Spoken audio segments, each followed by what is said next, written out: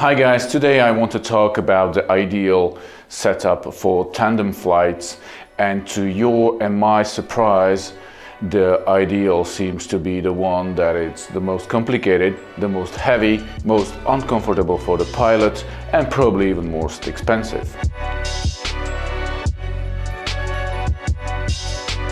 Welcome to our classroom Insights into Paramotor Geometry. In this series we cover all aspects of paramotor design and construction so you can learn what is the best paramotor for you. Today's topic is about tandem setup. I originally didn't really plan to talk about this but it was requested by one of you in the comments. So for the future if you have a question that we haven't covered in our classroom, please don't hesitate to send me an email or write a comment and ask for it. If I'm capable to answer, I would happily do so.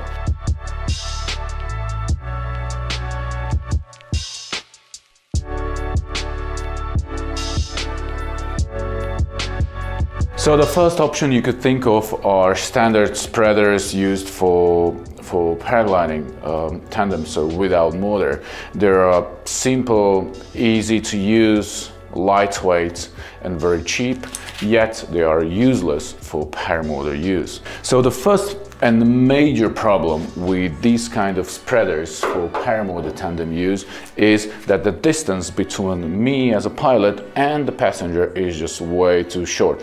While this is not a big deal in flight, it is a big deal in, uh, in the takeoff phase. Uh, takeoff with a paraglider off the mountain is short, you make few steps and you're off the ground, gaining speed and, and enjoying the flight. With a paramotor is completely different. You need to run fast and long.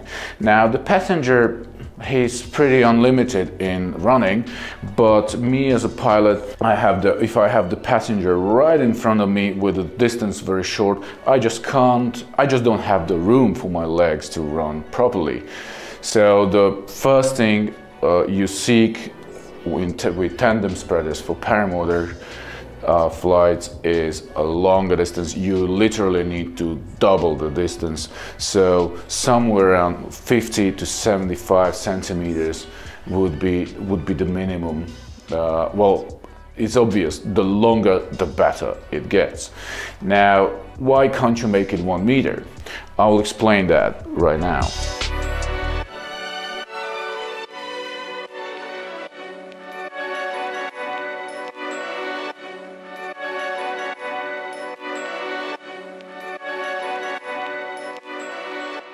So the very easy solution for paramotor use, for tandem spreaders, is just to make them longer. And the longer the better. So if it would be 100 centimeters, I would have plenty room to run. It would be just really safe and enjoyable. Now, the problem is the longer the, this distance is, the wider the angle at the, at the top carabiner gets.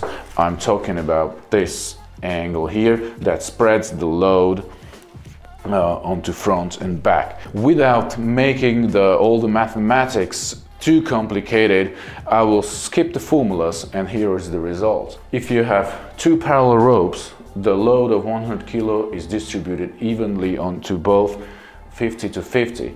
But as you increase the angle, suddenly the, the sum of the load on each rope is actually higher than the load itself. And the load increases dramatically with the larger the angle is.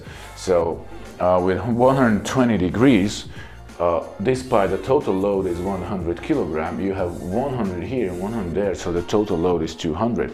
And it continues. Total load of 100 kilogram with the angle of 170 degrees would cause that both ropes would be loaded by more than 500 kilograms. That is more than 1,100 kilograms in total load on that rope.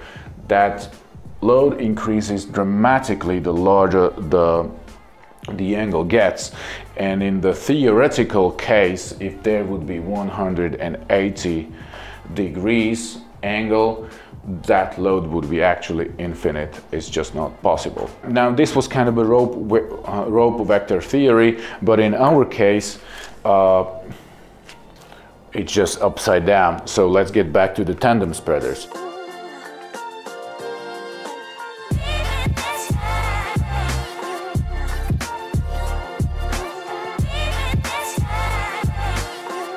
This is some quick calculation on the load distribution if the angle is 120 degrees. So uh, here's the pilot. Let's assume the total weight on 125 kilograms. That would be roughly me with a, with a Moster Plus engine on my back. And a passenger, 75 kilograms. Carabiner needs to be placed uh, to uh, equalize the load distribution. So the higher the load, the, lo the shorter the lever so the carabiner is closer to me because uh, uh, uh, me and the paramotor I'm heavier than that.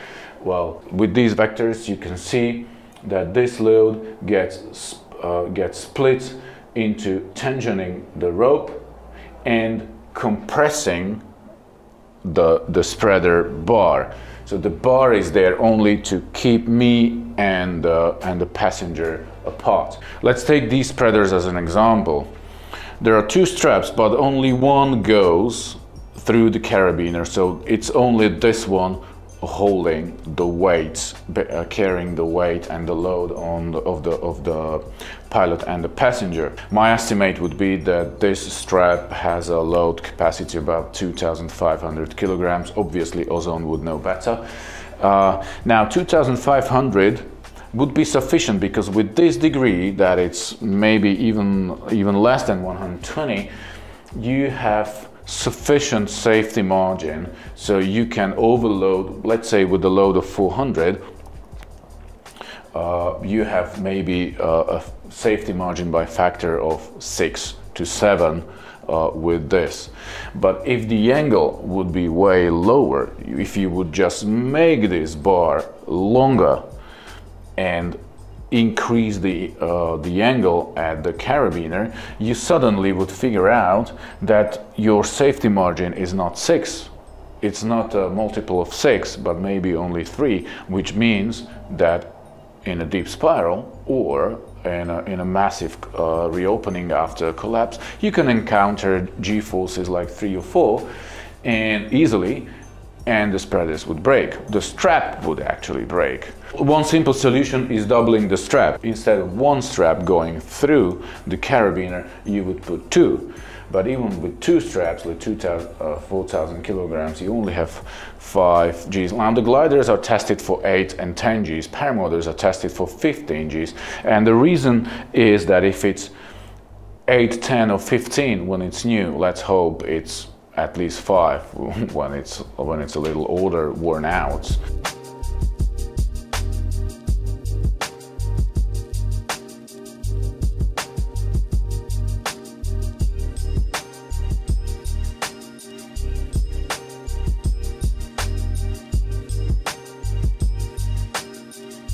So the load distribution vector mathematics is the reason why you cannot just simply make a standard paragliding uh, tandem bars longer, you have to proportionally make it larger. Which means that not only the distance between passenger pilot gets longer, but also the main carabiner gets higher and you as a pilot have a bad reach for, for, for the brakes. This is especially emphasized with the, with the paramotors with high suspension system where the your own carabiner is not here but it's already pretty high and then you need to reach even higher for the for the tandem for the tandem glider.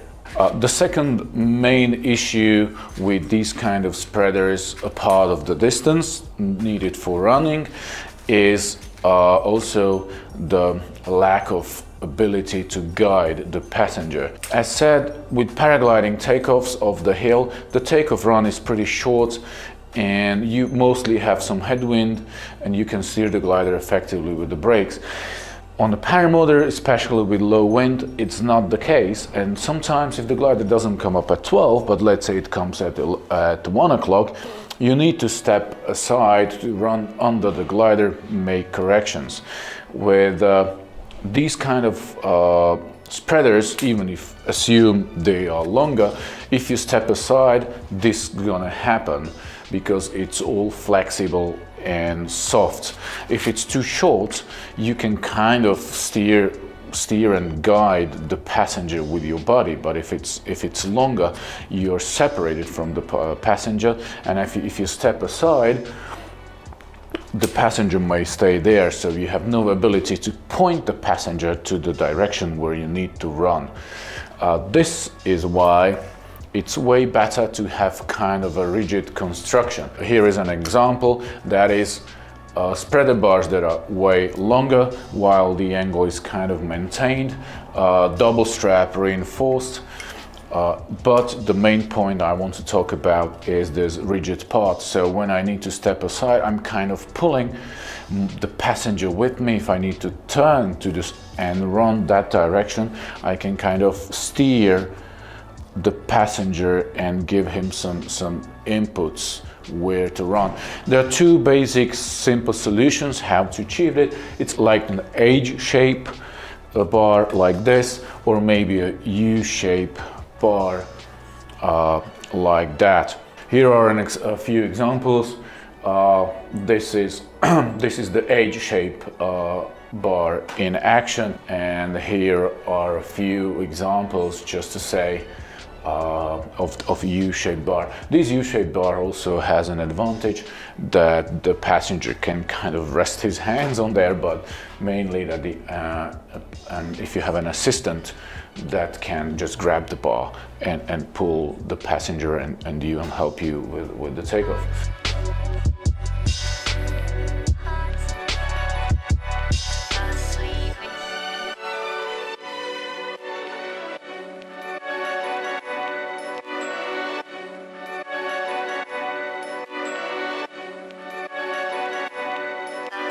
With these kind of spreader bars for tandem paramotor flights, there's one thing that you need to pay attention to, and namely that your ability to steer and guide the passenger during the takeoff phase is determined by the play that has. Namely, if these loops are very long, like, like on these bars, uh, there's a lot of play between your body and the bus and on the same in the same way with the bars and the passenger. So even if you make a mo movement these if these loops are way too long they take away your guidance authority.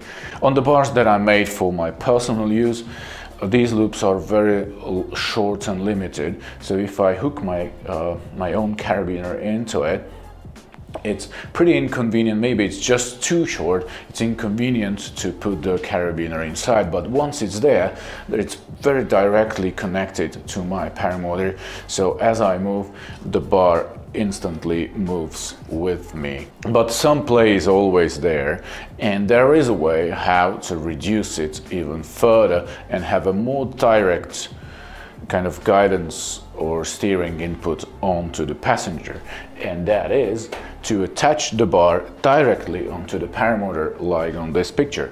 So here you have kind of a standard like a very simple simple bars, uh, simple spreaders but here is a main bar that is attached directly onto the paramotor. Now this has a very good advantage. There's a direct contact as as soon as you rotate your body, it will instantly lead the passenger to the desired direction. And on top of that, the thrust that the motor uh, is, is kind of pushing you is directly transferred to the passenger. So you are, so with the motor, uh, the motor is not only pushing you in your back, but it's actually pulling the passenger as well uh, which makes it uh, easier to run. Uh, this, is a, this is a really cool setup. So you have more direct guidance authority, engine is pushing the passenger and uh, the assistants can an assistant can grab it in the front bar. The main problem with this kind of setup that it's all complicated. There's so many things to attach, which is not a problem if you have an assistant, because first you need to uh, get yourself into the harness, strap in, and then you can uh, strap in the passenger. But then you don't have the and full control of it. You cannot do the pre-flight check and you need a trained assistant to do it for you. So let's do the final summary. So we have three basic types of uh, tandem spreaders, standard, standard paragliding spreaders, simple H or U type spreaders that are attached directly into pilot's carabiner and uh, the last uh, type is the kind of U-type spreaders that are attached onto the frame of the of the paramotor directly. Standard paragliding spreaders are way too short and give you pretty much non-existent room for fast running and I would not recommend for paramotor use. These kind of spreaders are long enough to give you more room or sufficient room. I would advise somewhere around 70, 75 centimeters in my personal experience is, is pretty, does a pretty good job. With the U-type spreaders, it's mostly adjustable because you can kind of pull the, uh, the passenger away from you. Uh, guiding the passenger with the H or U-type spreaders attached to the paramotor. It's pretty good, but there is still a little play in between the paramotor and the bar and uh, in between the bar and the passenger. Uh, most of the play is taken away if the bar is directly connected to the to the paramotor so this is the best guidance you have and also the paramotor is pulling the, pa the passenger in front of you easy of use obviously uh, this system is the most complicated one and you need an assistant to uh, strap in the, the passenger because first you need to get into this whole U-shaped thing uh, strap everything in you have it connected directly onto the paramotor and then you may you may ask the assistant to to hook in the passenger. Final conclusion standard paragliding spreaders only only for paragliding. These kind of H H or U-shaped uh, spreaders that are connected directly into the into the carabiners are best for occasional tandems, especially if the passenger is already used to doing tandem flights. That's best and I would recommend these uh, U-type spreaders that are attached to the to the main paramotor to the frame of the paramotor for tandems for business because you have the best launch characteristics but you need an assistance for strapping in. Yes sure I only can encourage you to share the fun and joy of this sport with the others go for tandem flights.